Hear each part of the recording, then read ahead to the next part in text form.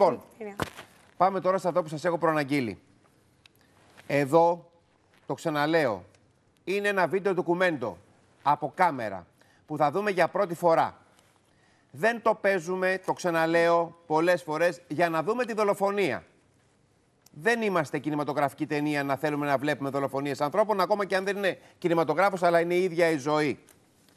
Θα προβάλλουμε το βίντεο αυτό, το οποίο είναι και καθαρότατο, γιατί για να δείξουμε αυτό για το οποίο φωνάζουμε, ουρλιάζουμε εδώ, σε αυτή εδώ την εκπομπή και δεν θα σταματήσουμε να το κάνουμε 14 μέρες. Δεν είναι αυτό. Θα σηκωθώ όρθιος, θα το δούμε όλοι μαζί.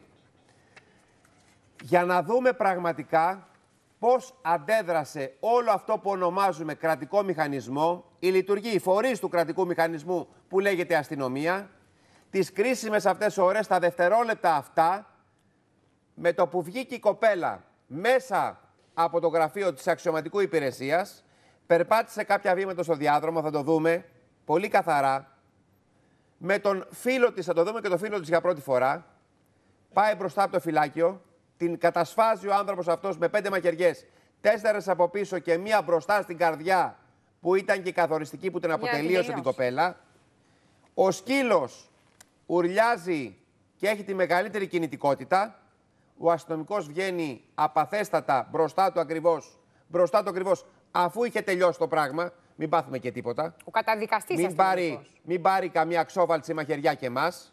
Αυτό θα δούμε τώρα.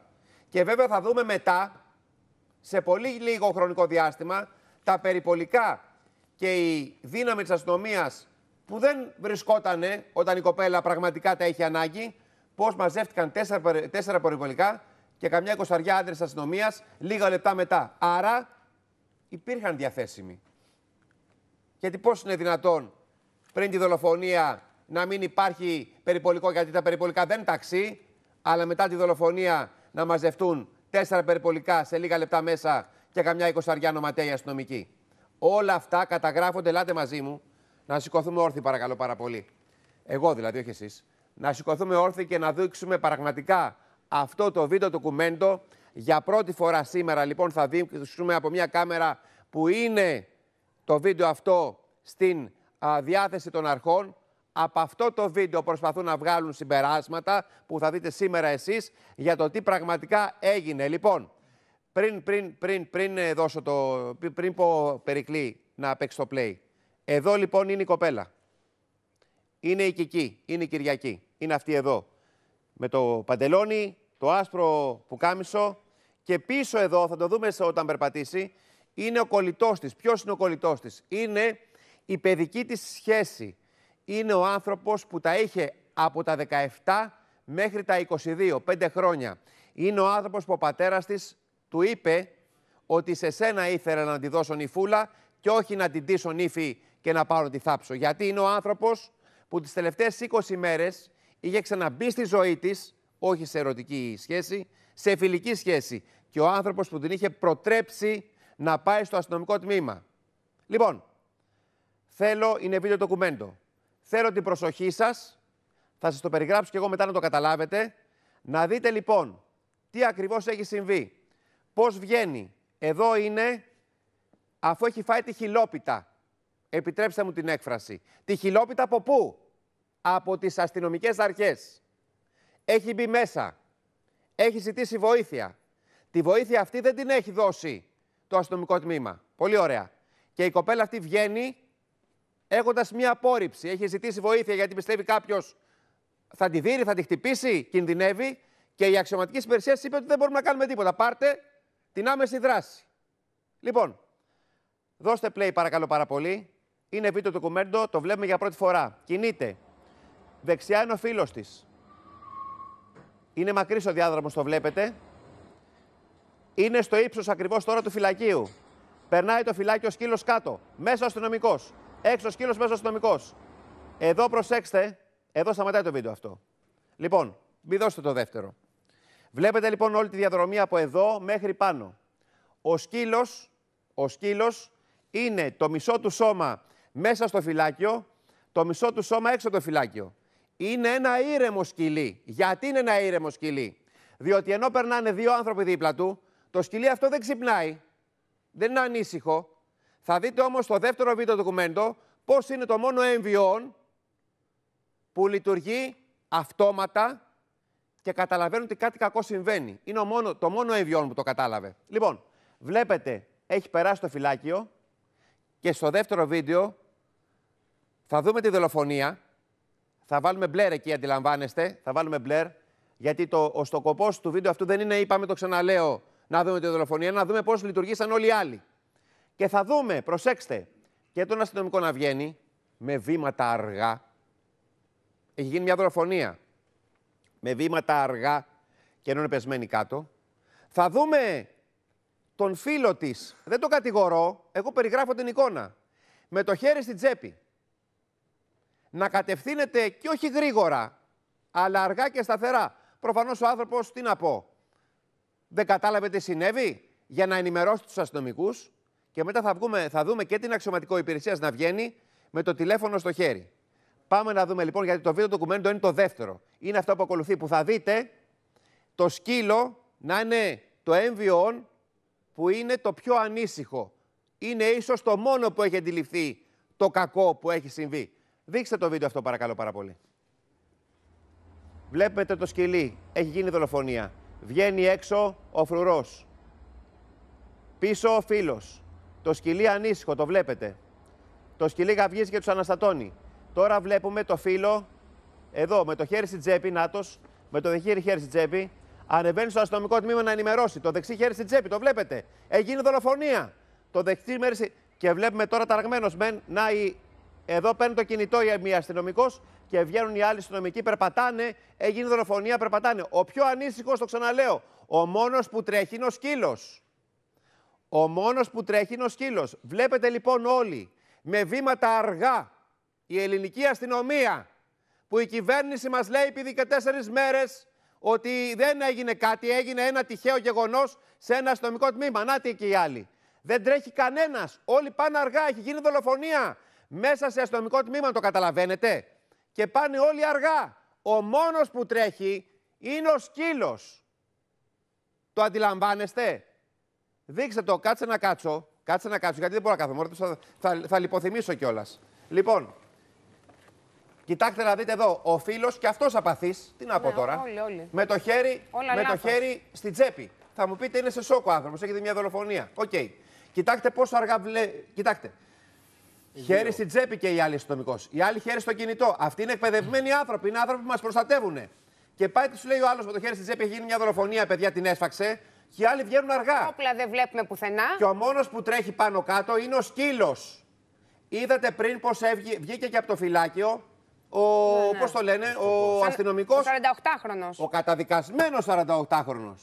Γιατί ήταν σε, σε σύστημα μέσα που βγάζαν παράνομα διαβατήρια και τα παίρνανε. Και υποτίθεται ότι θα έπρεπε να μην δουλεύει ο άνθρωπος αυτός στην αστυνομία. Και όμω δούλευε. Και έδινε και το παρόν. Κοιτάξτε πώς βγαίνει να το Τρία βήματα είναι ρε Γιώργο. Τρία βήματα είναι, είναι από τη. Τρία βήματα το βλέπω. Τρία βήματα. Έγινε μπροστά του το Και ο άνθρωπος αυτός που τα βλέπετε είναι, είναι το βίντεο αυτό σοκαριστικό, παιδιά. Τρία βήματα πραγματικά. Το ότι λέμε 14 μέρες έχει να κάνει με το αποκλειστικό βίντεο που φέρνει σήμερα το πρωινό στο φως της δημοσιότητας. Είναι λοιπόν το βίντεο αυτό που δείχνει πραγματικά ποιοι είμαστε. Που δείχνει ποια είναι αυτό το κομμάτι της αστυνομίας. Ό,τι και να λέει ο Μητσοτάκης στην συνεντεύξη του, ό,τι και να λέει ο Χρυσογοίδη στην συνεντεύξη του, το βίντεο αυτό είναι πιο δυνατό από όλα. Είναι λοιπόν αυτό το χαδερφέ, είναι ότι δεν είμαστε καλά εκπαιδευμένοι, είναι ότι με τα χέρια στις έπε στο κινητό κτλ. κτλ. Αυτή είναι η εκπαίδευση. Διωμένα αντανακλαστικά. Η εκπαίδευση της αστυνομίας είναι αυτή. Ότι όταν δολοφονείται ένας άνθρωπος πρακτικά μέσα σε αστυνομικό τμήμα. Μέσα. Γιατί μην μου πείτε ότι ένα μέτρο από το φυλάκιο είναι έξω. Ο μόνος που αντιδρά είναι ο σκύλος και δεν είναι και αστυνομικός. Ο σκύλος δεν είναι ο Ρεξ. Ο σκύλος είναι εκεί, το, το, το, το, το, το ενίαμο της γειτονιάς. Και πες ότι και ο πολίτης Γιώργο είναι σε κατάσταση σοκ και δεν ξέρει πώς να το διαχειριστεί. Οι άλλοι είναι ανεπίτρεπτοι. Του ειδοποιεί ότι γίνεται φόνος και κατεβαίνουν αντί με τα όπλα στο χέρι, ενώ δεν ξέρουν αν έχουν πιάσει το δράστη, αν υπάρχει νεκρός. Λοιπόν, κατεβαίνουν και παίρνουν τηλέφωνα. Θα πάμε σε διαφημίσεις, έχουμε κι άλλα. Δεν έχει σταματήσει εδώ η ξεφτύλα. Η ξεφτύλα συνεχίζεται μετά τις διαφημίσεις. Πρέπει να πω στις διαφημίσεις υποχρεωτικά. Μείνετε μαζί μας. Θα βγάλουμε και την κυρία ε, Έλληνα Τζούλη, τη δικηγόρο της μητέρας της ε, της οικογένειας τη μητέρας της άτυχης Κυριακής. έχει και αυτή να μας συνεισφέρει πολλά πράγματα στην κουβέντα μας. Θα βγάλουμε και την τεχνική σύμβουλο. Όμως θα δείξουμε και ακόμα μια φωτογραφία ντοκουμέντο για πρώτη φορά. Πώς λίγα λεπτά μετά, ενώ της λέγανε δεν υπάρχει δυνατότητα για βοήθεια, μαζεύτηκε η μισή αστυνομία εκεί. Άρα αστυνομία υπάρχει. Το θέμα είναι υπάρχει όταν, όχι όταν πρέπει. Και τι κάνετε εσείς και μου λέτε τώρα ότι πρέπει να αισθανόμαστε ασφαλείς. Ορίστε πόσο ασφαλείς είμαστε. Και είναι τα λόγια σας απέναντι στην πραγματικότητα. Γιατί η εικόνα είναι πολύ πιο δυνατή από τον οποιοδήποτε λόγο, κύριοι που μας κυβερνάτε και λέτε ότι όλα λειτουργήσαν σωστά. Ορίστε. Δείτε το κι εσείς αν δεν το έχετε δει. Εδώ από το πρωινό στον αντένα. Είστε χαρούμενοι με όλο αυτό που βλέπετε; Πάρτε στο σκύλο τουλάχιστον και δώστε του ένα τιμητικό μετάλλιο. Ταξίζει. Ο μόνος που ταξίζει. 10.000 ευρώ μετρητά, φίλες και φίλοι. Το μεγάλο χρηματικό ποσό που έχετε σοκαριστεί όλοι και ακόμα δεν έχετε καταλάβει τι γίνεται. Τώρα θα καταλάβετε. Τώρα θα καταλάβετε. Με το βίντεο ντοκουμέντο, πριν βγάλω την κυρία Τζούλη, θέλω, θέλω να δείξετε κάτι. Το βίντεο λοιπόν είναι αυτό. Δεν μπορούμε να παίξουμε χωρίς μπλερ. Έχω μία αίσθηση ότι σήμερα με το βίντεο αυτό ανατρέπονται όλα. Τι εννοώ; Τόσο καιρό λέμε, προσέξτε γιατί είναι πολύ σοβαρό αυτό που θα πω τώρα. Τόσο καιρό λέμε ότι ο άνθρωπος που ήταν μέσα στο φυλάκιο, άσχετα τώρα αν είχε καταδικαστεί, δεν είχε καταδικαστεί, αφήστε το. Πάμε, αυτά τα αναδείξαμε όλα. Τελείωσε αυτό. Ισχυρίζεται ότι δεν πήρε χαμπάρι τι γίνεται μπροστά του. Το μπροστά του είναι ούτε ένα μέτρο από ό,τι βλέπετε. Εδώ, και θα ρωτήσω την κυρία Τζούλη, τη δικηγόρο, για πρώτη φορά βλέπουμε κάτι άλλο. Ότι όχι μόνο δεν πήρε χαμπάρι τι γινότανε, αλλά ο άνθρωπος αυτός αντέδρασε. Βγήκε έξω. Βγήκε έξω χωρίς ο δολοφόνος να έχει ολοκληρώσει το αποτρόπαιο έργο του. Νομίζω, το έχω παρακολουθήσει από το πρωί 50 φορές το βίντεο αυτό. Νομίζω και στην πορεία θα ρωτήσω τον κυρία Τζούλη ότι την ώρα που έσφαζε με πέντε μαχαιριές, τέσσερις από πίσω και μία μπροστά εδώ στην καρδιά, την άτυχη κική ο δολοφόνος, το καλόπεδο, ο αστυνομικός βγήκε. Και αυτό είναι ακόμα χειρότερο. Γιατί αν βγήκε όρθιος όπως βλέπετε εδώ, παρακολουθεί τη δολοφονία Χωρίς να και δεν κάνει τίποτα μέχρι να αποτελειώσει ο δολοφόνος τη δολοφονία, τα πράγματα περιπλέκονται ακόμα περισσότερο και γίνονται χειρότερα. Σήμερα δείχνουμε μια νέα διάσταση, φίλες και φίλες, κυρίες και κύριοι, που εδώ πρέπει και ο Υπουργός και η κυβέρνηση και όλοι αφενός να τραπούμε και αφετέρου να τοποθετηθούν. Αν έχει συμβεί αυτό που εικάζω και βλέπω ότι έχει συμβεί. Μπορεί και να κάνει λάθος το μάτι μου. Το έχω δει 50 φορές. Νομίζω ότι ο φρουρός βγαίνει έξω πριν ολοκληρωθεί η δολοφονία. Το λέω για πρώτη φορά και ανατριχιάζω. Και αν συμβαίνει αυτό, είναι πολύ χειρότερα τα πράγματα από ό,τι όλοι εικάζαμε 14 μέρες τώρα. Θέλω να πάμε σε μια άλλη φωτογραφία. Τάσο, θες να πεις κάτι τώρα; Ε, ήθελα να πω ότι αν υπάρχει μία περίπτωση στο 1 εκατομμύριο να κάνεις χρήση του όπλου είναι αυτή η περίπτωση. Αυτό ήθελα να πω. Βλέπεις έναν άνθρωπο να μαχαιρώνει μια γυναίκα. Λοιπόν, είναι μπροστά σου, είσαι αστυνομικός και έχεις όπλο. Μία φορά στο εκατομμύριο να χρησιμοποιήσει το όπλο, το σηκώνεις και ρίχνεις. Είμαι σίγουρος ότι θα ήταν όλοι με το, με το σκοπό. Στα πόδια. Ε, κάπου να του ρίξεις, κάτι ναι, να κάνεις. Στα πόδια, κάτι να κάνει. Δεν το πιστεύω ότι είναι Για να τον ακινητοποιήσει. Κάτι που το έχουμε να συμβαίνει. Δεν το πιστεύω γιατί βλέπω και τα πόδια του δράστη, βλέπω και την κοπέλα κάτω, το είδαμε το βίντεο και αυτός είναι από πάνω. Νοχελικά. Δεν μπορεί να πιστεύεις ότι βλέπει ένα με ένα μαχαίρι 30 πόντους μαχαιρώνει κάποιον και δεν κάνει χρήση του όπλου του. Αυτό που μας έχει σοκάρει όλους με το βίντεο αυτό ντοκουμέντο το λέω και ανατριχιάζω. Δεν πίστευα ποτέ ότι θα υπάρξει τέτοιο βίντεο. Κι όμως υπήρξε και το δίνει σήμερα το πρωινό. Είναι η νοχελικότητα με την οποία όλοι αντιδρούν. Και το λέω, ο μόνος που δεν αντιδρά νοχελικά είναι ο σκύλος. Που δεν είναι ένα ανήσυχο σκυλί. Είναι ένα σκυλί που όταν περνάει μπροστά η κική με τον φίλο της, κοιμάται το σκυλί. Κάτω δεν σηκώνεται. Παρά μόνο όταν γίνεται το κακό σηκώνει το σκύλο και πηγαίνει πάνω κάτω, πάνω κάτω, πάνω κάτω. Οι άλλοι νοχελικά, με τα χέρια στις έπες, με το κινητό, νοχελικά. Και δολοφονία μπροστά στα μάτια μας. Μπροστά κυριολεκτικά στα μάτια μας. Μπροστά στα μάτια μας. Να το. Είναι ο λόγος σας εναντίον της πραγματικότητας, της εικόνας. Αυταπόδεικτα πράγματα. Θέλω να πάμε στην Κέλη Χινοπόρου. Και να πούμε κάτι πριν πάω στην κυρία Τζούλη. Και θα τη ρωτήσω αυτό που, τη, που, που, που, που το υποθετήθηκα τώρα, να μου πει και εκείνη τι πιστεύει. Τζου, ε, ε, συγγνώμη, Κέλλη. Καλημέρα, καλή εβδομάδα. Καλή εβδομάδα, ναι. Θέλω να δούμε μια φωτογραφία ντοκουμέντο. Δείξτε τη φωτογραφία παρακαλώ πάρα πολύ. Είναι λοιπόν αυτή εδώ. Είναι, Κέλλη μου, και αυτή είναι η συνεισφορά του πρωινού σήμερα στο ρεπορτάζ. Ένα, δύο, τρία, τέσσερα περιπολικά. Ένα δεξιά, ένα μπροστά από το φορτηγάκι το λευκό, ένα πάνω αριστερά και ένα κάτω αριστερά. Το βλέπουμε. Τέσσερα περιπολικά. Και μία μηχανή ακριβώς στο κέντρο. Μία μηχανή στο κέντρο και κάποιοι πολίτες και κάποιοι αστυνομικοί. Αυτό Για λοιπόν. Για να τους αστυνομικούς. Πώς ναι. είναι; Αν μπορείτε. Πώς είναι; 24. Αν κάνουμε zoom στην εικόνα και τους μετρήσουμε έναν έναν και η φωτογραφία αυτή είναι λίγη ώρα μετά το φόνο. 10 και 24 γίνεται η δολοφονία. Έχει ζητήσει άμυρη Κυριακή περιπολικό. Δεν υπάρχει περιπολικό. Έχουμε, ξέρουμε την ιστορία από εκεί και μετά. Και λίγα λεπτά μετά, παιδιά, φτάνουν τέσσερα Ό, περιπολικά. Μηχανές όπ Σφαίρα έφτασαν. 24 αστυνομικοί που αν τους δούμε και κοντά πάει η ψηλή κουβεντούλα σύννεφο και το τσιγάρο. Η ηρωνία Για ποιο λόγο φτάνουν εκεί όταν έχει συλληφθεί ο δράστη; Η ηρωνία είναι αυτή. Ότι είναι 24 άτομα και έχουμε νεκρό, δηλαδή το θύμα την Κυριακή. Το δράστη τον έχουν συλλάβει ήδη και είναι 24 άτομα στο θεατές, Απλοί θεατές. Απλοί θεατές με αυτό. Αν κάνουμε, αν ζουμάρουμε την εικόνα και δούμε τα πρόσωπά τους, βέβαια εντάξει, τους έχουμε προστατεύσει τους ανθρώπους, καταλαβαίνουμε τι ακριβώς έκαναν 24 αστυνομικοί τέσσερα περιπολικά στο συγκεκριμένο σημείο όταν έχει συλληφθεί ο δράστης. Ψηλή κουβεντούλα, σας το λέω γιατί ε, μίλησα και με άνθρωποι ειδοποιήθηκαν από το κέντρο να πάνε. Αν τους ειδοποιούσαν νωρίτερα, θα πήγαιναν νωρίτερα. Όταν εκεί ο αμεσοδρασίτης έλεγε δεν είναι ταξί το περιπολικό, ναι. ο τηλεφωνητής θα μπορούσε να φτάσει νωρίτερα. Τους δώσανε το σήμα, πήγανε 25, 35, 55. Δεν φταίνε και αυτοί που πήγαν εκεί. Πότε θα ξέρουν τι έφτασαν και άλλοι που έμαθαν την, την, την, την, ιστορία αυτή προς υποστήριξη συναδέλφων; Ρωτώ ναι, εγώ. Ναι, γιατί όλα ακούγονται, γιατί όλα ακούγονται και όλοι από τους ασυρμάτου. Ε, βέβαια. Όλοι ακούγονται ε, τα σήματα. Εδώ πάντως, παιδιά, σας αφήνω τόση ώρα να τοποθετηθείτε και καλά κάνετε. Υπάρχει ένα δεδομένο. Το δεδομένο είναι το εξής. Ότι πάει μια κοπέλα μέσα Της λένε δεν μπορούμε να σε βοηθήσουμε πρακτικά. Γιατί το πρωτόκολλο δεν το περιλαμβάνει. Αν μπορεί να σε βοηθήσει κάποιος, είναι η άμεση δράση, το 100.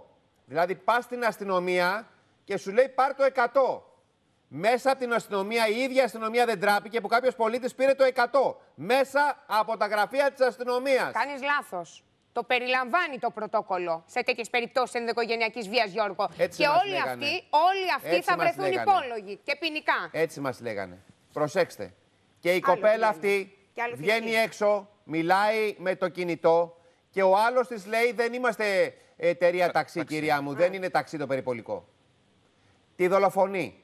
Και εδώ το μεγάλο ερώτημα είναι αν την δολοφονεί μπροστά στα μάτια του φρουρού χωρίς το τζάμι το διαχωριστικό του φυλακίου. Θα το δούμε και αυτό. Περιμένετε. Θα τα βγάλουμε όλα από αυτή εδώ την εκπομπή. Που όλος τυχαίως για να καταλάβει ο κόσμος.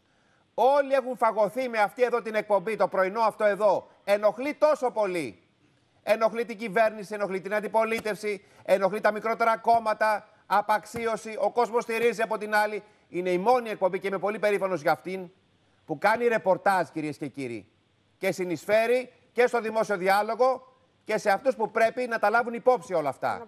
Γιατί βοηθητικοί είμαστε. Με αυτό που κάνουμε, βοηθάμε μήπως και κάποιοι ξυπνήσουν και πάρουν και κάποιες σωστές αποφάσεις. Λοιπόν, αυτό ήταν παρένθεση.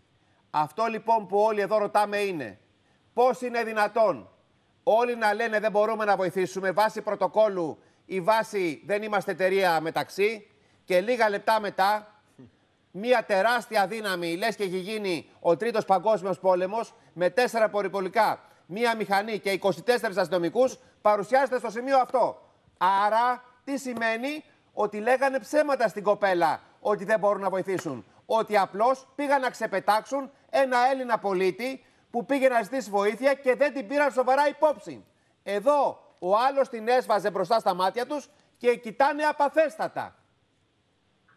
Και μας λέει μετά η κυβέρνηση ότι πρέπει να αισθανόμαστε ασφάλεια με την αστυνομία. Κύριε Χρυσοχοίδη, καλημέρα σας. Καλή εβδομάδα, είστε καλά. Μετά από αυτά που βγάζουμε σήμερα, εξακολουθείτε να είστε καλά. Θα κάνετε ακόμα επικοινωνιακή διαχείριση. Τι ακριβώς; Τι θα κάνετε σήμερα, αγαπητέ, αγαπημένε μου κύριε Χρυσοχοίδη, ακριβώς; Τι θα βγείτε να πείτε σήμερα; Ότι κάναμε μοντάζ; Επειδή είναι και στο δημόσιο βίο. Μοντάζ λέει για τα τρένα, μοντάζ, μοντάζ. Εδώ δεν είναι μοντάζ. Εδώ είναι εικόνα. Δυστυχώς. Που η άτιμη εικόνα, για να μην πω η τιμημένη εικόνα, πάντα την αλήθεια λέει. Όσο επικοινωνιακή διαχείριση και να επιχειρήσουν κάποιοι να κάνουν. Λοιπόν, Κέλλη, σε ευχαριστώ πάρα, πάρα πολύ για, για το ρεπορτάζ. Θέλω να πάω τώρα στην κυρία Έλληνα Τζούλη. Κυρία Τζούλη, καλή σας ημέρα. Λοιπόν, ευχαριστώ πάρα πολύ που είστε μαζί μας σήμερα. Ε, η κυρία Τζούλη είναι η δικηγόρος της ε, οικογένειας από τη μεριά της ε, μητέρας. Κυρία Τζούλη, εδώ σήμερα είχαμε τη δημοσιογραφική έτσι, ευτυχία να βγάλουμε ένα ντοκουμέντο στο, στο δημόσιο διάλογο. Το ντοκουμέντο είναι αυτό και θέλω ευθέως να σας ρωτήσω.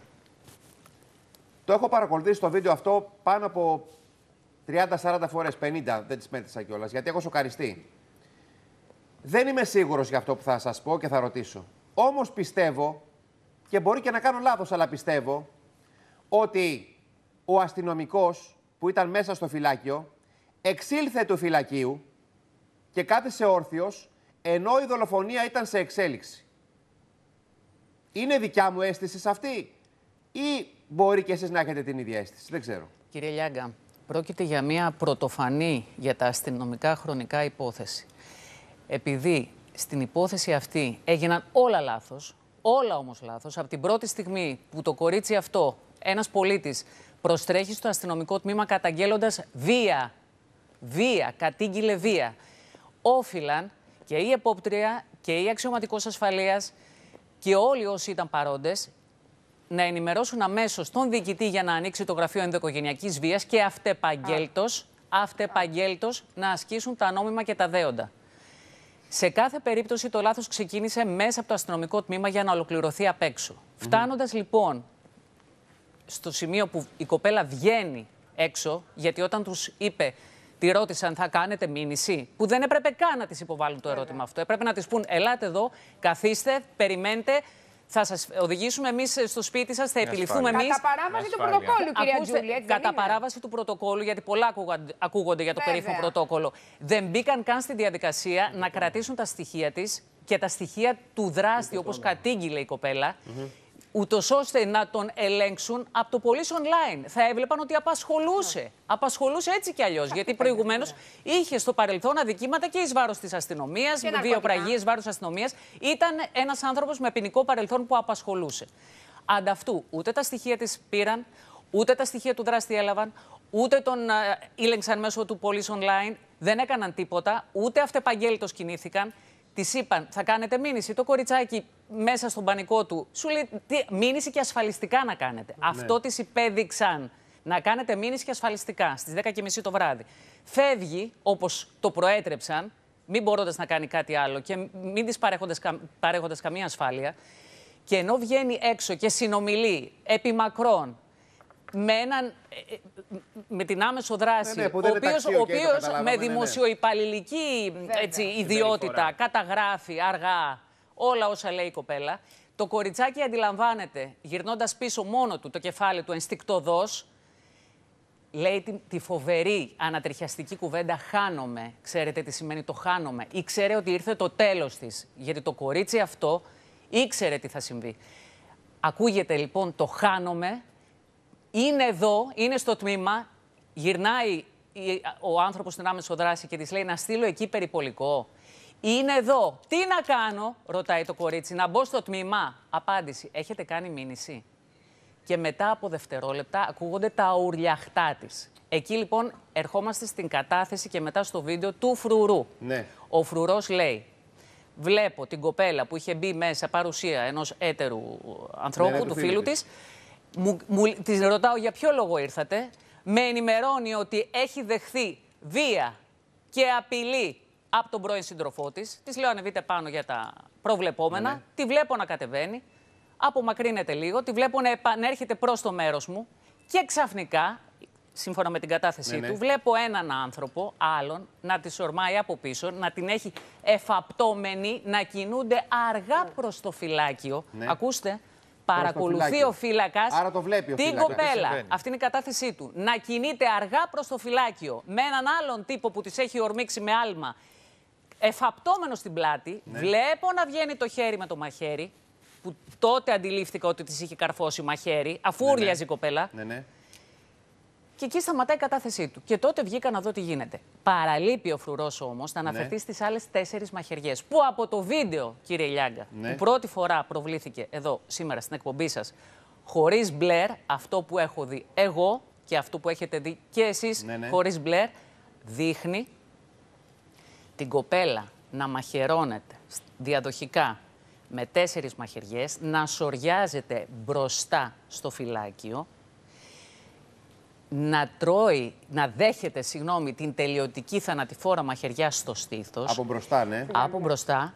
Εκείνη την ώρα να βγαίνει χαλαρά και αργά ο φρουρός. Το βλέπουμε, τα βήματα και να παρακολουθεί όρθιος, να παρακολουθεί όρθιος τον δράστη σκυμμένο πάνω στην κοπέλα, καθώς την αποτελειώνει. Άρα λοιπόν, κυρία Τζούλη, μια στιγμή. Ο δράστης λοιπόν δεν έχει ακόμα αυτομαχαιρωθεί είναι σε δράση και ε, μαχαιρώνει Άρα λέτε εσείς λοιπόν ότι πριν ολοκληρωθεί η δολοφονία και το πέμπτο μαχαίρωμα, η πέμπτη χαριστική μαχαιριά, είχε εξέλθει του φυλακίου έτσι έστω ράθιμα ο αστυνομικός. Άρα θα μπορούσε να έχει παρέμβει και να αποτραπεί το μοιραίο. Ακριβώς διότι οι πρώτες τέσσερις μαχαιριές δεν ήταν θανατηφόρες. Η πέμπτη ήταν η θανατηφόρα μαχαιριά. Άρα λοιπόν λέτε ότι βγαίνει από το φυλάκιο ο αστυνομικός, θα μπορούσε να αντιδράσει. Παρά, παρά αυτού όμως δεν αντέδρασε ο αστυνομικός. Είδε μπροστά στα μάτια του, εκτός φυλακίου πια, την πέμπτη μαχαιριά. Παρακολουθούσε τις προηγούμενες τέσσερις μαχαιριές. Από μέσα. Στην, από μέσα. Στην κατάθεσή του αναφέρει μόνο τη μία. Ναι. Ήρθαν αργά προς το μέρος μου, ήταν κάποιος κολλημένος από πίσω της. Είδα ότι έβγαλε δηλαδή, μαχαίρι. Εδώ που είναι όρθιος, βλέπει την πέμπτη μαχαιριά βλέπει ο τη... Είναι ήδη η κοπέλα ξαπλωμένη. Έχει Κάτω. δεχθεί τις τέσσερις από πάνω της. Τότε βγαίνει, είναι σκυμμένος ο δολοφόνος. Φαίνεται χωρίς τον μπλερ το μαχαίρι που το κρατάει όρθιο για, για, να καταφέρει και την πέμπτη θανατηφόρα μαχαιριά. Και ο φρουρός παρακολουθεί. Δεν αφοπλίζει με κανέναν τρόπο αυτό και είναι δεν ένα τώρα. Αυτό που λέτε τώρα, αυτό που λέτε τώρα, που και εγώ το είδα με τα μάτια μου, αλλά δεν τολμούσα να το πιστέψω, είναι σοκαριστικό και ανατρέπει πάρα, πάρα πολύ τα πράγματα και τα δεδομένα μέχρι στιγμής. Διότι εδώ δεν μιλάμε τώρα για την ανικανότητα της αστυνομίας να εφαρμόσει τη λογική και όχι το πρωτόκολλο. Μιλάμε, κάτσε βρεάρια λίγο σε παρακαλώ πολύ σήμερα. Μιλάμε για την άρνηση ενός ανθρώπου, άσχετα αν είναι αστυνομικός, να βοηθήσει ένα συνάνθρωπό του. Εδώ είναι τελείως διαφορετικά τα πράγματα. Δεν είναι ότι δεν είδε. Είδε, βγήκε αργά και είδε το αποτελείωμα ενός ανθρώπου μπροστά κυριολεκτικά στα μάτια του. Και αφού τραυματίστηκε, αυτοτραυματίστηκε έστω ελαφριά ο δολοφόνος, τότε έσκυψε και παρενέβη ο, ο φύλακας. Ο δολοφόνος, όταν αυτοτραυματίστηκε, το έκανε γιατί έπρεπε. Ήταν όλα μελετημένα. Όλα ήταν μελετημένα και μάλιστα υπάρχει και ένα οκτασέλιδο γράμμα, μια επιστολή, το οποίο κοριτσάκι το, είχε, το κρατούσε μαζί του για να δείξει, να αποδείξει στην, στην αστυνομία πόσο πολύ κινδυνεύει, τη βία που είχε υποστεί, γιατί μέσα περιγράφονται φοβερά πράγματα και θα βγουν σε, σε, στον αμέσως επόμενο χρόνο τα όσα αναφέρονται στο γράμμα και τι σημασία έχει αυτή η επιστολή. Η επιστολή δε που επέλεξε την, την ημέρα που επέλεξε να χρησιμοποιήσει από το ημερολόγιο δεν ήταν τυχαία. 17 Νοέμβρη. Το γράμμα το είχε γράψει μία-δύο μέρες πριν και αυτός επέλεξε από το, από το ημερολόγιο από όλες τις ημέρες ως ημέρα του ημερολογίου η πρώτη σελίδα να είναι η 17 Νοέμβρη. Ωραία. Συνεχίζει λοιπόν αυτός ο άνθρωπος ο οποίος είχε πλήρη λογική, πλήρη προμελέτη, δεν ήταν υπό την επίρρεια ουσιών, α, αντιθέτως ήταν σε καταστολή, γιατί είχε πάρει μόνο ηρεμιστικά. Δεν είχε πάρει άλλες ψυχότροπες ουσίες, όπως θέλει να ισχυρίζεται, ότι δεν θυμάται. Ο άνθρωπος λοιπόν αυτός τη σκότωσε και αφού τη σκότωσε ή αυτοτραυματίστηκε με σκοπό να επιδείξει ή να καταδείξει ότι δεν είχε σώα τα σφρένας ή ήταν θολωμένος. Πείτε μου κάτι, κυρία Τζούλη. Εάν πραγματικά αυτό που είδαμε σήμερα, που είδε σήμερα για πρώτη φορά όλη η Ελλάδα, επιβεβαιωθεί στο δικαστήριο, για ποιο πράγμα θα κατηγορηθεί ο Φρουρός πια; Εδώ πέρα υπάρχει σωρία παραλήψεων. Και η πλευρά η δική μας, η νομική εκπροσώπηση της μητέρας, όπως φρονώ ότι θα κάνει και η πλευρά της νομικής εκπροσώπησης του, πατέρα, σε ναι, ναι. κάθε περίπτωση θα αποζητηθούν ευθύνες για το αδίκημα της ανθρωποκτονίας από παράληψη. Υπάρχουν σωρία παραλήψεων. από παράληψη. Υπάρχουν σωρία παραλήψεων, κύριε Λιάγκα. Εάν είχε εγκαίρως επέμβει και επάνω η αστυνομική και η αξιωματικός και η επόπτρια, όλοι όσοι ήταν πάνω. Εν συνεχεία, ο φρουρός κάτω, αλλά και η άμεσο δράση να υποδείξει. Είναι εδώ, χάνομαι, του λέει. Τι να κάνω, να μπω στο τμήμα, μην έχετε κάνει. Είναι αδιανόητη διάλογη. Αδιανόητη. Αδιανόητη διάλογη. Δεν έχουν δηλαδή τη στοιχειώδη και αυτό, αυτό αναρωτιέται ο απλός πολίτης. Δεν υπάρχει ούτε στοιχειώδης εκπαίδευση. Σας ευχαριστώ πάρα πολύ. Να είστε καλά. Σας ευχαριστώ, πάρα, πάρα πολύ. Αντιλαμβάνεστε ότι εδώ τα πράγματα παίρνουν μια τελείως διαφορετική τροπή ότι 14 μέρες μετά που όλοι έχουμε χύσει τόνους μελάνης και τόνους σάλιου να μιλάμε για το θέμα αυτό, η υπόθεση αυτή παίρνει μια τελείως μα τελείως διαφορετική τροπή μετά το ντοκουμέντο που η εκπομπή σήμερα η δική μας έφερε και έβαλε στο προσκήνιο. Εδώ δεν μιλάμε πια μόνο για παραλήψεις. Εδώ μιλάμε για συνολική ανικανότητα, για εκπαίδευση η οποία δεν υπάρχει και για μια αστυνομία που πρέπει να πάρει καμιά ιδιωτική αστυνομία να τη φυλάει. Γιατί αυτή η αστυνομία, αυτή η αστυνομία δεν είναι ικανή να μας φυλάει, κύριε Χρυσοκοίδη μου. Και ξαναβγείτε πάλι από σήμερα, την καλημέρα μου σας την είπα. Καλημέρα. Να κάνετε για ακόμα μια φορά επικοινωνιακή διαχείριση. Εγώ πάντως θέλω να το πω ότι δεν αισθάνομαι ασφαλής. Και το ξαναλέω. Υπάρχει ένα 95, 96, 97% της αστυνομίας κακοπληρωμένων ανθρώπων πραγματικά ικανότατων ανθρώπων που αγαπάνε την Ελλάδα, που αγαπάνε το λειτουργήμα που κάνουν, γιατί δεν είναι δουλειά. Δεν πρέπει να αντιμετωπίσουμε στα δημόσιους υπαλλήλους, στου αστυνομικούς, άσχετα αν κάποιοι αστυνομικοί αντιμετωπίζουν στα δημόσιοι υπάλληλοι τους πολίτες. Αυτή είναι η αλήθεια. Και θα πρέπει ε, ε, επισήμως να βγείτε σήμερα μετά από αυτό να μιλήσετε. Ξεκάθαρα. Και όχι κρυβόμενοι πίσω από επικοινωνιακά τερτύπια. Πώς θα πάθουμε τη μικρότερη ζημιά. Αυτό είναι το ζητούμενο. Σε αυτή τη χώρα το ζητούμενο είναι μονίμως πώς θα πάθουμε τη λιγότερη πολιτική ζημιά. Και αν αυτό δεν είναι πολιτική, τι είναι; Για μένα αυτό είναι πολιτική, τίποτα άλλο. Πολιτική είναι η κοινωνία και η κοινωνία είναι η πολιτική. Αυτό είναι πολιτική, φίλες και φίλοι. Τι είναι οι εξαγγελίες, μπαρμπούτσα αλλά και επισκέψεις. Αυτό είναι πολιτική. Αυτό είναι πολιτική. Πόσο πολίτες θα είναι πιο ασφαλή, πιο ευτυχισμένος, πιο ικανοποιημένος είναι; Εσείς είστε με αυτό που είδατε σήμερα. Λοιπόν, πάμε να ακούσουμε τον πατέρα που μίλησε στην εκπομπή μας. Κάνει μια έκκληση. Στο βίντεο που είχαν παίξει όλα τα κανάλια στην αρχή, είχαμε δει και δύο ανθρώπους να παρακολουθούν το έγκλημα. Κάνει μια έκκληση μέσω της εκπομπής μας ο πατέρας της άτυχης Κυριακής. Άτυχης Κυριακής. Ε, Εμείς είμαστε τυχεροί που δεν είμαστε της Κυριακής. Θέμα τύχης είναι ζαριά. Πώς λέει η Μαρίνα Σάντι, ζαριά, κλακ. Ταυτιζόμαστε όλοι με αυτή την κοπέλα. Για άλλου τα τόρτια και διπλές και για άλλους οι εξάρες. Εκείνη είχε και σάτια εκείνη τη μέρα. Τι να κάνουμε, είχε ατυχία. Έπεσε. Λοιπόν, ε, κάνει έκκληση στους αυτόπτες μάρτυρες. Είναι αυτές οι δύο κυρίες. Να, να, να πάνε και να μιλήσουν, γιατί προφανώς ήταν ακριβώς από πίσω έχουν δει τι έχει συμβεί. Το κρίσιμο είναι αυτό που, δεί, που δείξαμε σήμερα.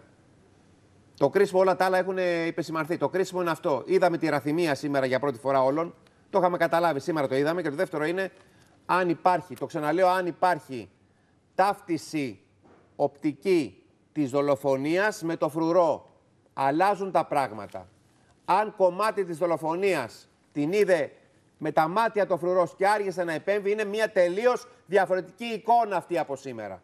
Το αντιλαμβάνεστε; Πάμε να ακούσουμε τον πατέρα.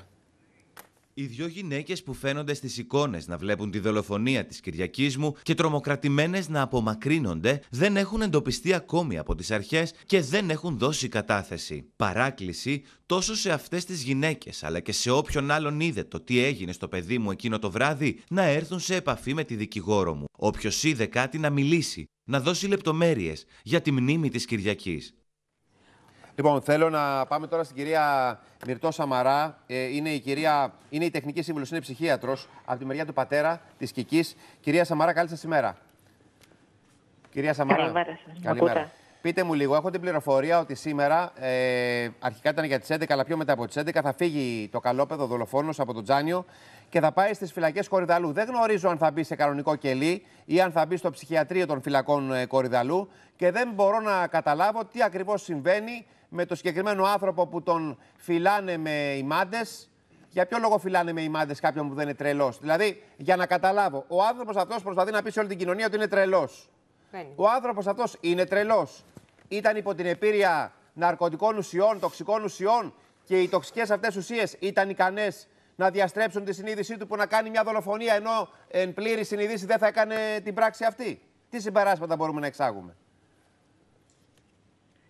Είναι πολύ σωστά όλα τα ερωτήματα που θέτετε. Ακριβώς σε αυτά πρέπει να απαντήσουμε. Δηλαδή, ποια ήταν η κατάσταση του δράστη την ώρα της δολοφονίας.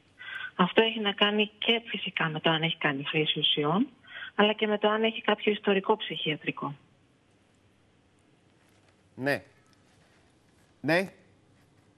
Με ακούτε; ακούτε; Ναι, ναι, σας ακούω. Έκανε... Εγώ σας ακούω. Έκανε μια διακοπή και δεν σας άκουσα, δεν άκουσα την κατάληξή σας. Άρα λοιπόν, τι συμπεράσματα μπορούμε να βγάλουμε, κυρία Σαμαρά, για τον uh, δολοφόνο; Είχε πλήρη τη συνείδησή του όταν έκανε την πράξη που έκανε; Δεν θα μπορούσα να βγάλω κάποιο τέτοιο συμπέρασμα αυτή τη στιγμή.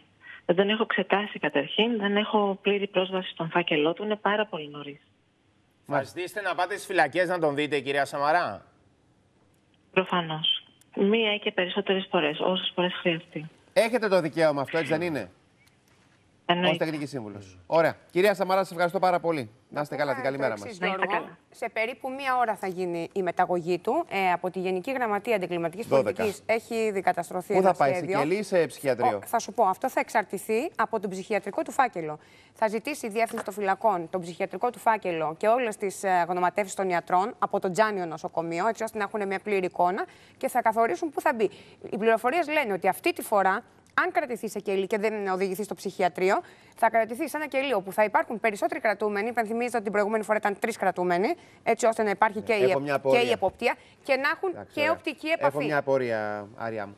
Πώς είναι δυνατόν ένας άνθρωπος που λένε οι γιατροί ότι είναι υγιής ψυχικά, αλλά που κοιμάται και ξυπνάει με ημάντε. Ναι. Σε ένα κρεβάτι με ημάντε, δεμένος.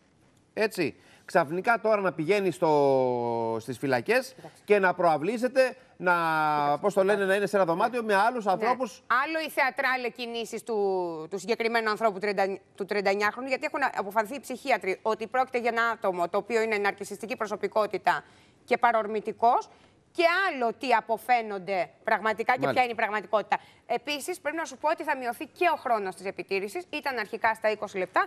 Τώρα κάθε ε, 10 λεπτά θα, το θα πηγαίνουν να τον βλέπουν. Λοιπόν, ναι. Μετά το, πώς το λένε, μετά Χριστόν όλοι προφήτες. Όποιος καεί στο χυλό, το... και το γιαούρτι. Πολλές παροιμίες. Το δε υλικό λοιπόν, Πρέπει να πάω στη διαφημίσεις, ναι. παιδιά. 10.000 ευρώ μετρητά, φίλες και φίλοι. Α, το πολύ μεγάλο χρηματικό ποσό